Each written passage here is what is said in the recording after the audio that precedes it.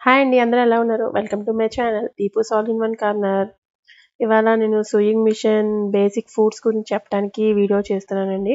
ఒకటి వచ్చేసి normal food మనకి ప్రతి మిషన్లోనూ కామన్గా ఉండేది. దీంతో మనకి అన్ని స్టిచెస్ చేసుకుంటాము. ఇంకోటి వచ్చేసి పీకో ఫుడ్ మనం శారీ పీకోస్ చేసుకుంటాం కదా సైడ్న దానికి యూజ్ అయ్యే ఫుడ్ ఇంకోటి వచ్చేసేసి వా సింగిల్ ఫుట్ అంటారు. దీన్ని జిప్పర్ ఫుట్ కింద కూడా వాడుకోవచ్చు. ఒక సైడ్ స్టిచ్ అవుతుంది. సో ఈ మూడు ఎలా యూజ్ చేయాలో నేను ఈ వీడియోలో ఇప్పుడు మీకు చెప్తాను అనమాట లెట్ స్టార్ట్ ద వీడియో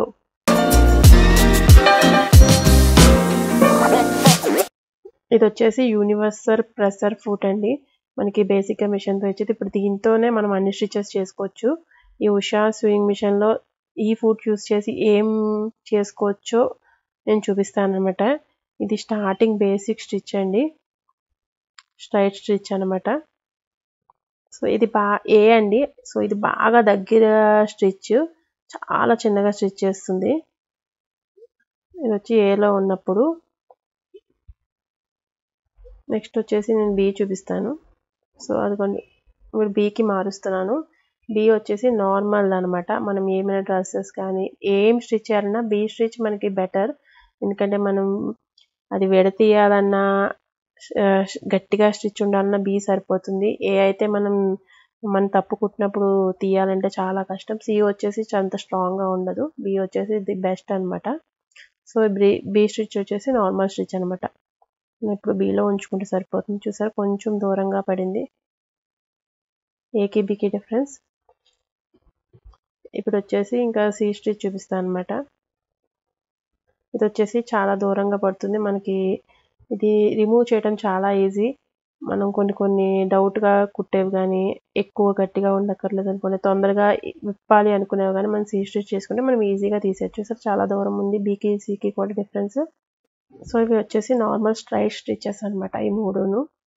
మనకి బిఏ ఎక్కువ వాడుకునేది. ఏ మనకు అసలు అవసరమే ఉండదు చెప్పాలంటే. ఇప్పుడు డీ స్టిచ్ గురించి చూపిస్తాను అనమాట డీ స్టిచ్ వచ్చేసి జిగ్జాగ్లో చాలా చిన్న సైజు ఇది కూడా నాకు తెలిసి మనం పెద్దగా అసలు యూజ్ చేయము.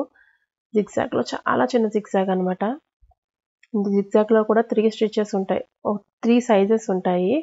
సో ఇది వచ్చేసి e ఈ స్టిచ్ కొంచెం దూరం పెరుగుతుంది. నెక్స్ట్ వచ్చేసి ఇది ఎఫ్ స్టిచ్ ఇది చాలా దూరం పెరుగుతుంది. ఇది ఎక్కువ మనకి పిల్లో కవర్స్ మీద చూస్తుంటాం కదా పెద్ద పెద్దగా అవుతుంది. ఇంకా ఓవర్లాక్ చేసేటప్పుడు మనకి ఈ దూరం స్టిచ్ బాగా యూజ్ అవుతుంది. ఇంకోటి ఈ ఈ వచ్చేసి మనం శారీస్ పీకోస్ చేసుకున్నప్పుడు పీకో ఫుడ్ పెట్టుకున్నప్పుడు మనకు బాగా యూజ్ అవుతుంది. ఇది వచ్చేసేసి.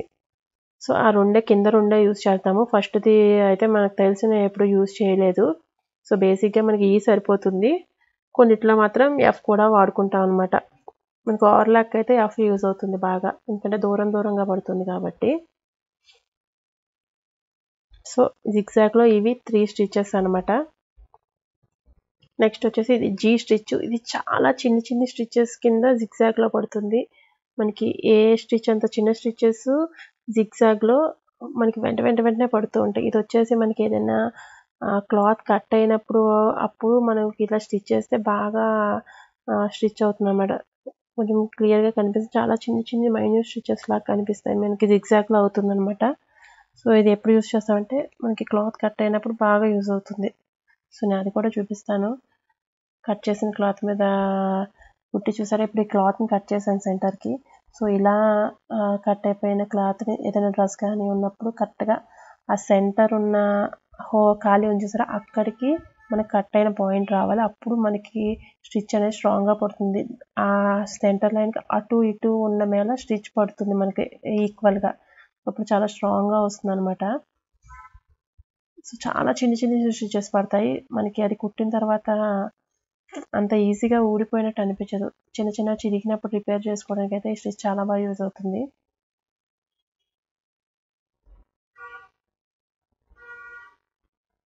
అది ఎప్పుడు కట్ అయిన ముక్క సెంటర్లో ఉండాలి. అప్పుడే మనకి స్టిచ్ అనేది బాగుంటుంది. నాకు చివరిలో పక్కకి వెళ్ళిపోయింది. సో పక్కకి వెళ్ళిపోతే మనకి అక్కడ గట్టిదనం ఉండదు. చూసారా?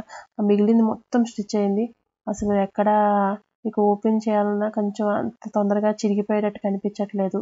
చిరిగింది అంటే కిందది మాత్రం నేను పక్కకి వేయటం వల్ల అక్కడ తెగిపోతుంది. సో ఇది కరెక్ట్గా వేస్తే చాలా బాగా యూజ్ అవుతుంది కట్ అయిన పార్ట్కి. సో ఇది వచ్చేసి జీ స్టిచ్ అనమాట ఆల్మోస్ట్ అన్ని స్టిచెస్ మనం నార్మల్ ఫుడ్తో మనం వేయచ్చు. మిగిలిన ఫుడ్స్ మార్చినప్పుడు వాటికున్న అసలు అసలు యూజ్ అనేది మళ్ళీ తెలుస్తుంది మనకి. బట్ అన్ని స్టిచెస్ నార్మల్గా కూడా మనకి పనిచేస్తాయి అనమాట నెక్స్ట్ వచ్చేది హెచ్ స్టిచ్ హెచ్ ఐజే ఇంకా త్రీ స్టిచెస్ ఉంటాయి. ఇవి కొన్ని డిజైన్స్ కింద వాడుకోవచ్చు. అందులో ఒకటి హెమ్మింగ్ స్టిచ్ ఒకటి ఉంటుంది. అది హెమ్మింగ్ ఫుడ్ పెట్టినప్పుడు మాత్రమే యూజ్ అవుతుంది. మిగిలినవన్నీ మనం డిజైన్స్ లాగా వాడుకోవచ్చు. ఈ మిషన్లో వచ్చేసి ఇవి మాత్రమే ఉంటాయి మోడల్స్. వేరే నెక్స్ట్ అల్లూరి ఆ మోడల్స్కి వెళ్తే మీకు ఇంకా మోడల్స్ ఆఫ్ స్టిచెస్ దొరుకుతాయి. ప్రస్తుతానికి ఇందులో మాత్రం ఇంకా త్రీ స్టిచెస్ ఉంటాయి అంతే. సో అవి కూడా నేను ఒకేసారి స్టిచ్ చేసి చూపిస్తాను మీకు ఆ మూడు. ఏదైనా డ్రెస్సుల మీదకి డిజైన్ స్టిచ్ లాగా వాడుకోవచ్చు కావాలనుకుంటే. లేకపోయినా ఓకే. ఒకటి మాత్రం హెమ్ స్టిచ్కి యూజ్ అవుతుంది. చూసారా? ఇదొక మోడల్ ఇదొక మోడల్. ఇంకోటి వచ్చేసేసి ఇదొక మోడల్. ఇది వచ్చేసి పీకో ప్రెషర్ ఫుట్ అండి. అంటే మనం పీకో శారీస్కి పీకోస్ చేస్తాం కదా ఎండింగ్స్లో సో అది చేసే ఫుట్ అనమాట ఇది. సో ఇది చేయడానికి ఈ e కానీ ఎఫ్ కానీ పెట్టుకుంటాము. ఎక్కువ ఈ అయితేనే బెటర్ కొంచెం దూరంగా దూరంగా వస్తుంది. ఎఫ్లో కూడా మనకి వస్తుంది. సో ఈ పీకో ఫుట్ ఎట్లా యూజ్ చేయాలో నేను ఇప్పుడు చెప్తాను అనమాట సో ఫస్ట్ మనం స్టిచ్ చేయాలనుకునే క్లాత్ నార్మల్గా పెట్టి వెనక వైపున ఒక టూ త్రీ స్టిచెస్ వేయాలి. అది కూడా మిషన్ యూజ్ చేసి కాదు. అక్కడ మనకి వీల్ ఉంటుంది కదా బ్యాలెన్సింగ్ వీల్ దాంతో చేతితో తిప్పుతో ఒక రెండు మూడు స్టిచెస్ వేసిన తర్వాత బయటికి తీసేయాలి. కొంచెం దారం ఎక్కువే ఉంచుకోవాలండి. సో ఆ దారం ఎందుకంటే మనం వెనక్కి లాగేటప్పుడు మనకి పుష్ చేయడానికి యూజ్ అవుతుంది. సో ఆ దారంతో తీసుకుని మనం ఆ హోల్ ద్వారా లోపలికి పెట్టాలి ఆ క్లాత్ని సో ఆ క్లాత్లో అందులోంచి వచ్చిందే మనకి రొటేట్ అయ్యి రొటేట్ అయ్యి మనకి అది పీకో లాగా వస్తుంది. సో అందులోంచి బయటకు వచ్చేస్తే మళ్ళీ నార్మల్గా అయిపోతుంది క్లాత్ రొటే రో రోల్ అవ్వదు అనమాట సో అందులో సెట్ చేసుకుని ఆ వెనకాల మనం ఎక్కువ తాడించుకున్నాం కదా దాన్ని యూజ్ చేసుకుని నెమ్మది నెమ్మదిగా వెనక్కి మనకి పుల్ చేస్తూ ఉండాలి. అప్పుడు మనకి అది రొటేట్ అయ్యి వస్తుంది. మనం ఏంటంటే ఎప్పుడు వెనక్కి తీసుకునేది ఈక్వల్ ఇంటర్వెల్స్లోనే లాగాలి. మనం ఎక్కువ లాగేసాం అనుకోండి కుట్టు దూరం అయిపోతుంది. తక్కువ లాగితే కుట్టు దగ్గర అయిపోతుంది. సో మనం ఏంటంటే ఒక ఒకేటే ఇంటర్వెల్లో లాగుతూ ఉండాలి వెనకాల క్లాత్ అనేది.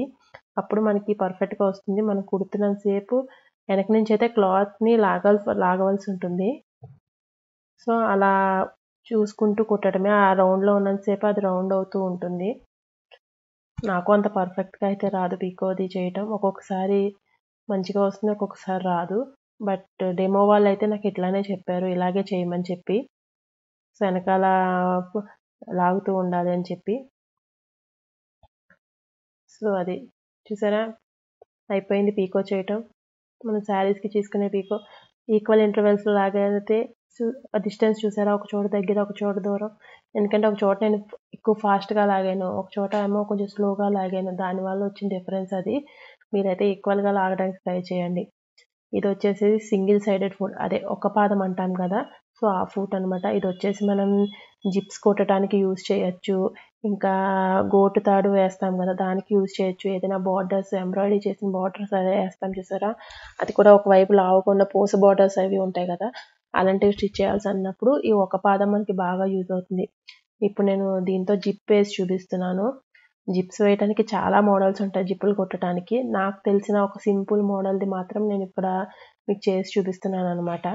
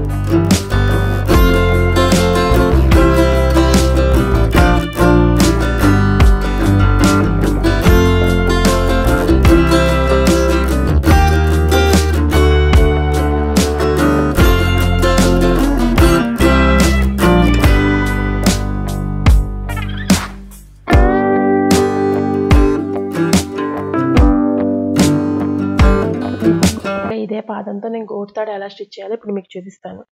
సో ఇది వచ్చేసి గోటుతాడండి ఇది మనం ఎక్కడైతే క్లాత్కి స్టిచ్ చేయాలన్నా క్లాత్ తీసుకుని గోటుతాడు అట్లా పెట్టుకోవాలి. పెట్టుకున్న తర్వాత గోటుతాడు వచ్చేసి రైట్ సైడ్కి ఉండాలి. నార్మల్ క్లాత్ వచ్చి లెఫ్ట్ సైడ్కి ఉండేటట్టు కుట్టాలన్నమాట. ఎందుకంటే మనకి హైట్ ఉన్న వైపు చివ పాదం లేని వైపుకి వెళ్ళాలి. సో అట్లా కుడితే అలా కుట్టుకుంటూ రావటమే చివ ఎంత చివరికి కుట్టు పడితే మనకి అంత చివరికి పెట్టుకోవచ్చు. ఎందుకంటే హైట్ ఉన్న మేళ డిఫరెన్స్ తెలుస్తుంది. సో ఇది గోటుతాడు స్టిచ్ చేయడం. ఇదండి ఈ వీడియో. వీడియో మీకు నచ్చిందని అనుకుంటున్నాను. నచ్చితే లైక్ చేయండి షేర్ చేయండి సబ్స్క్రైబ్ చేయండి. Thank you for